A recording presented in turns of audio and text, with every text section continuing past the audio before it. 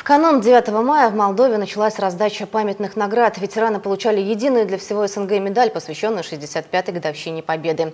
В комплекте героям войны пытались всучить и кресты, созданные по инициативе в Рио президента. Вот какое видео предоставила курьеру газета «Гренада». В притуре столичного сектора Чеканы во время награждения ветеранов памятными медалями, присланными из Москвы, чиновники пытались раздавать и кресты Гимпу. Их вложили в одну упаковку с юбилейной медалью в довесок. Однако ветераны принимать кресты отказались. Тот крест мне не нужен, я оставил им, там, пускай они передадут Гимпу, сказал, чтобы не это. Как вы думаете, зачем они такой шаг предприняли? Предприняли, чтобы перешли на сторону наверное, этих. Их, на их сторону, чтобы перейти. Да. А мы народ неподатливый, мы участники войны, мы, у нас есть сила воли, которую мы заработали во время войны, сила воли. Дисциплина, чуткость, товарищество. А в их, в их обществе нет товарищества. Все горы, все. Оборвали народ, оборвали государство. И они живут вольготно сейчас. А бедный народ ходит, понимаете, голодный, полуголодный ходит.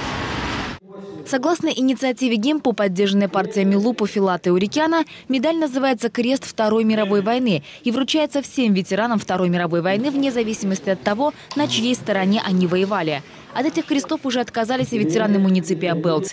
Они обратились к властям с просьбой, цитирую, «отменить такую фашистскую награду, а выдать ту медаль, за которую они боролись, защищая свою родину и народ от фашистской чумы». Ветераны также отмечают в официальном письме, что находятся в отчаянии, а от общественных акций протеста их удерживает лишь твердость духа.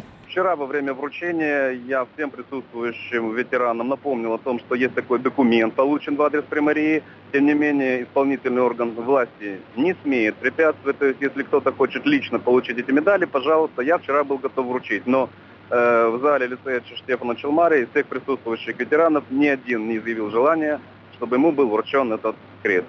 Они не посчитали для себя возможным принимать крест э, очень близко напоминающий крест, который вручали фашисты своим героям.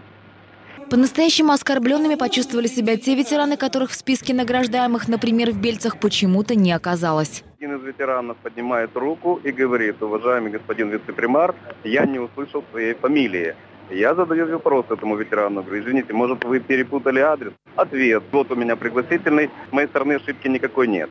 Ответ работников военкомата, что никакой ошибки нет. Они озвучивают три фамилии и говорят, что э, есть устное распоряжение министра обороны о том, что этим троим ветеранам медали будут вручать 8 мая депутат парламента Марьян Ильич Лупу. Узнать мнение Марианы Ильича, почему так поделили ветеранов, не удалось. Телефон лидера ДПМ на наш номер не отвечал. Зато пресс-секретарь Демпартии Андриан Булигари передал трубку, как он выразился, эксперту. Светлана Чебан, телекомпания НИТ. Да, Светлана. А, будьте любезны, нам бы хотелось получить комментарии вот к этим 30 ветеранам, которые были отобраны для того, чтобы их лично награждал Марьяна Ильич в ресторане да, Полбит. Комментарий не будет. Никто не отбирал лично. И не надо там сейчас формулировать этот дурацкий ваш вопрос. Никто не отбирал. Собираем ветеранов и все. И поздравляет председатель партии ветеранов. Никто их не отбирал. И никаких комментариев тут не будет. Понятно?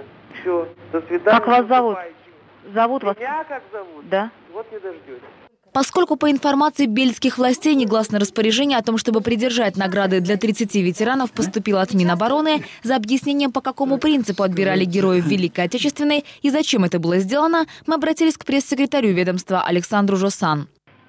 Я не могу комментировать. У вас нет информации? Я ничего об этом не знаю. Мне нужно спросить у компетентных людей. Когда я могу перезвонить? Не знаю. Я должен проконсультироваться с теми, кто за это отвечает. Э, Перезвоните через два часа. Ну и через два, и через три часа телефон пресс-секретаря Минобороны уже не отвечал. Пока бельские власти, чтобы отобранные ветераны не чувствовали себя ущемленными, вручают награду на месте. А Мариану Лупу предлагают раздавать пресловутые кресты, за которые проголосовала его партия в парламенте. Светлана Чебан, телекомпания